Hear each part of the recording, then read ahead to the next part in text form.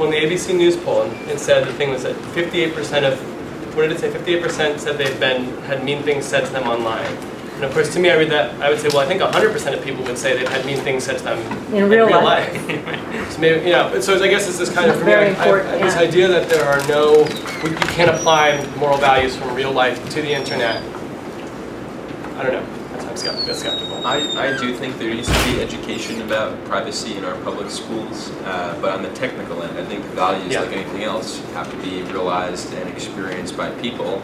But um, knowing that you should have a different password for all of your accounts online, Yeah. that's something that people should leave high school with knowing. You know, we know the Pythagorean theorem, we should know that we should have different passwords for each of our accounts, so if one gets hacked, we don't lose everything.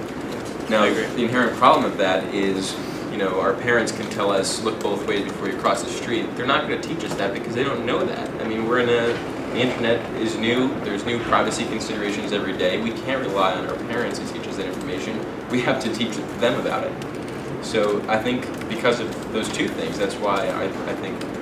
Both values and technical or just technical? Uh, technical. I agree. Um, that's why I think schools have a large role to play.